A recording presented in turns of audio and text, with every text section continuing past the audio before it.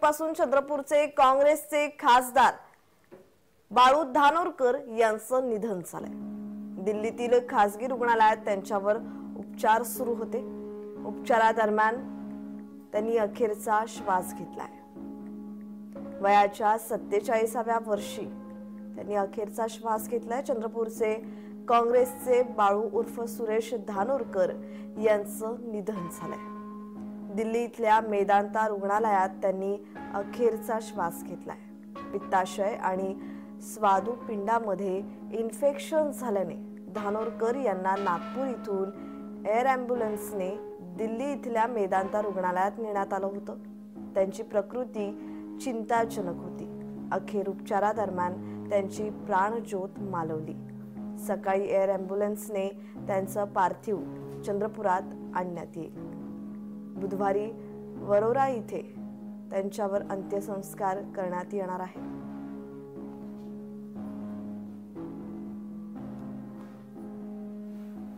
चंद्रपूरचे काँग्रेसचे खासदार बाळू धानोरकर यांचं निधन झालंय.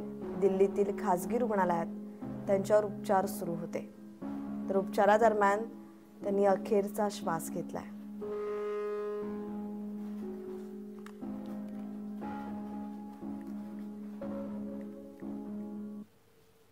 कोण होते बाळू धानोरकर? पाहूयात. चार जुलै एकोणीसशे पंच्याहत्तर रोजी बाळू धानोरकरांचा जन्म झाला.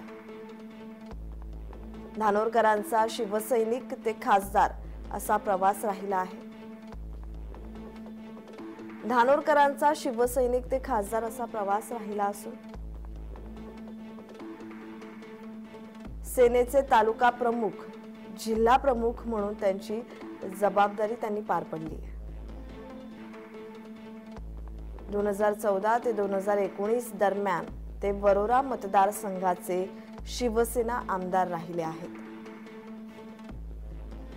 दोन हजार एकोणीसच्या धानोरकरांचा काँग्रेसमध्ये प्रवेश.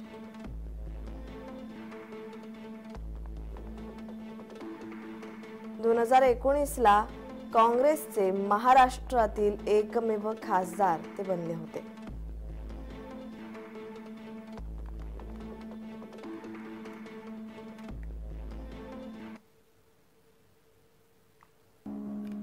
तर या संदर्भात अधिकचा तपशील देत आहेत जय महाराष्ट्र वृत्तवाहिनीचे deputy editor Manoj Bhoyar sir.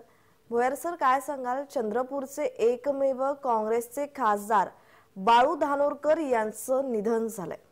या संदर्भात आपली माहिती. एक दोन महत्त्वाच्या बाबी एक सांगाव्याशा वाटतात. एक तर ते काँग्रेसचे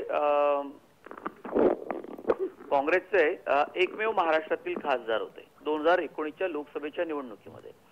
आणि दुसरी बाब म्हणजे इतक्या कमी वयामध्ये काँग्रेसचे खासदार किंवा कुठलीही राजकारणी किंवा नेते महत्त्वाचे हे जर जात असतील तर अर्थातच एक दुःख हळहळ हे व्यक्त होणं तितकंच स्वाभाविक आहे.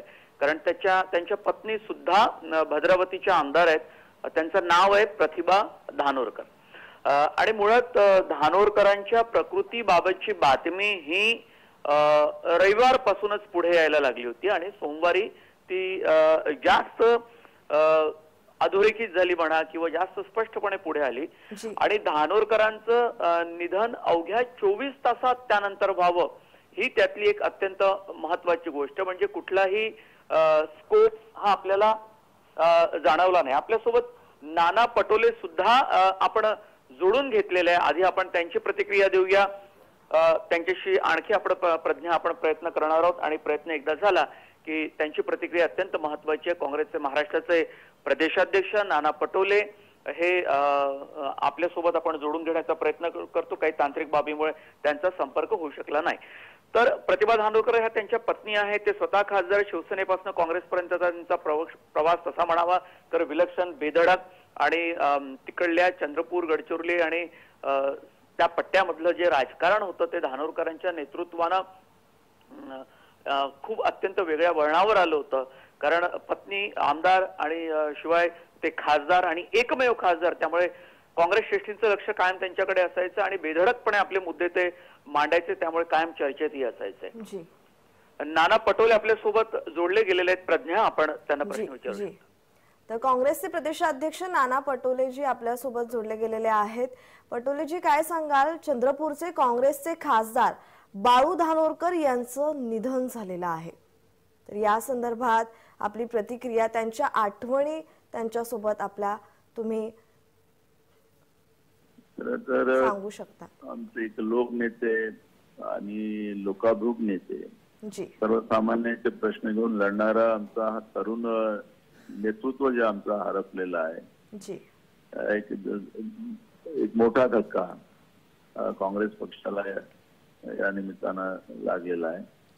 जनतेचा नेता हरपलेला आहे. आणि आमच्याजवळ आज शब्द अपुरे पडतात आहे.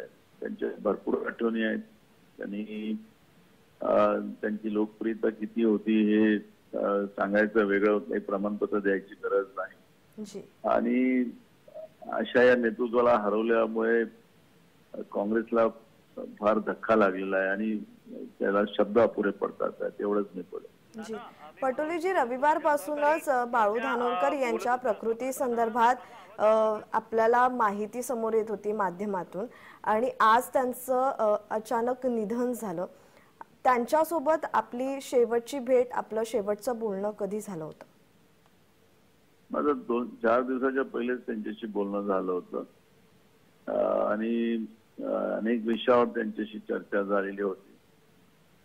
पण घटने झाल्यानंतर मग आम्ही सगळे लक्ष देऊन होतो. नागपूरला ते ऍडमिट झाले. आणि मग त्यांची तब्येत जास्त सिरियस झाली. आणि मग त्यांना तातडीनं दिल्लीला हरवलं गेलं. आणि मग त्यांच्याशी बोलता आलं नाही. संपर्क पूर्ण आम्ही सगळ्या तब्येतीवर लक्ष देऊन होतो.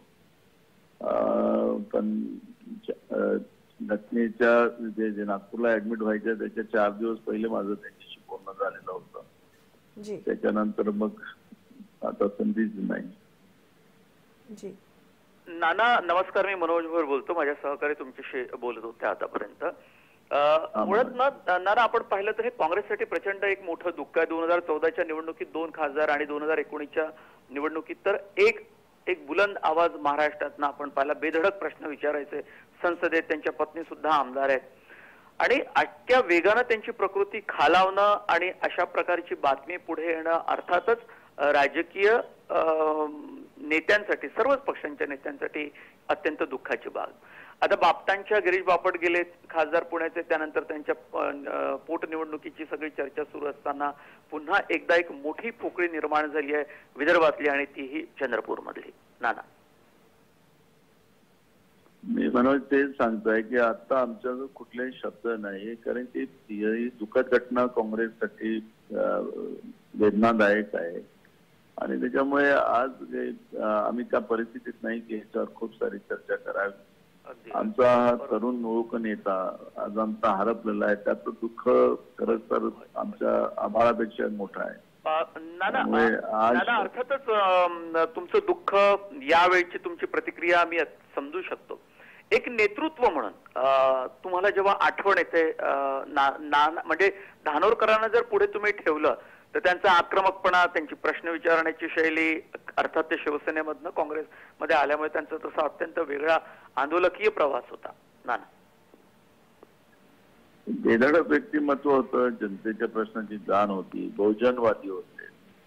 आणि नेहमी सर्वसामान्यांच्या प्रश्नाची लढाई करून त्याला न्यायापर्यंत पोहोचवणं त्याला न्याय मिळवून देणं. असा हा जाणता नेता होता.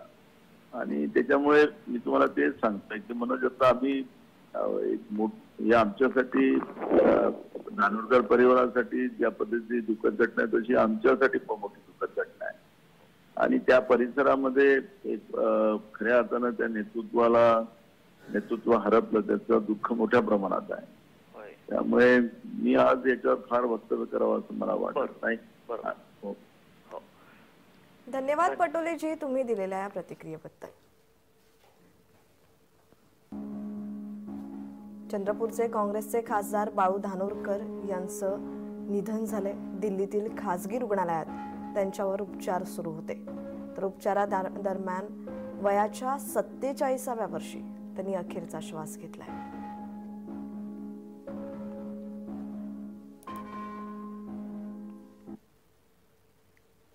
बाळू धानोरकरांच्या निधनाने काँग्रेसने राज्यातील एकमेव खासदार गमावलाय. काँग्रेससहित अनेक पक्षांच्या नेत्यांनी हळहळ व्यक्त केली चंद्रपूरचे काँग्रेसचे खासदार बाळू उर्फ सुरेश धानोरकर यांचं निधन झालंय. दिल्ली इथल्या मेदांता रुग्णालयात त्यांनी अखेरचा श्वास घेतलाय. पित्ताशय आणि स्वादुपिंडामध्ये इन्फेक्शन झाल्याने धानोरकर यांना नागपूर इथून एअर अँब्युलन्सने दिल्ली इथल्या मेदांता रुग्णालयात नेण्यात आलं होतं. त्यांची प्रकृती चिंताजनक होती. अखेर उपचारादरम्यान त्यांची प्राणज्योत मालवली. बाळू धानोरकरांच्या निधनाने काँग्रेसने राज्यातील एकमेव खासदार गमावलाय. काँग्रेस सहित अनेक पक्षांच्या नेत्यांनी हळहळ व्यक्त केली आहे.